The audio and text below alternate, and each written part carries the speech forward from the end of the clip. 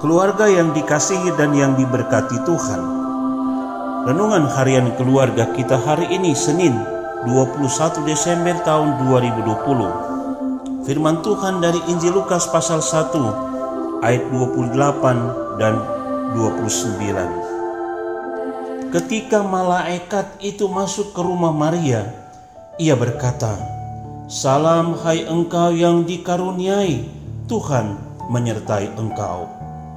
Maria terkejut mendengar perkataan itu, lalu bertanya di dalam hatinya, "Apakah arti salam itu?"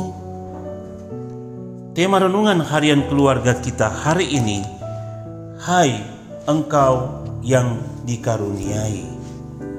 Keluarga yang dikasihi dan yang diberkati Tuhan. Kecenderungan saat ini masih ada orang yang mendapat kehormatan hanya karena memiliki kedudukan, jabatan, kekuasaan, dan kekayaan. Orang yang rendah dan miskin terkadang tidak mendapat kehormatan.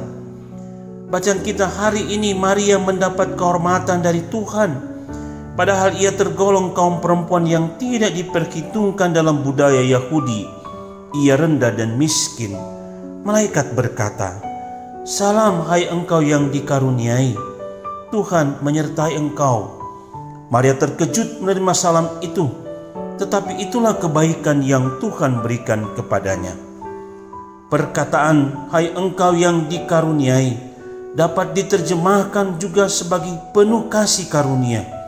Tetapi istilah ini mengacu kepada orang yang menerima kemurahan atau kehormatan.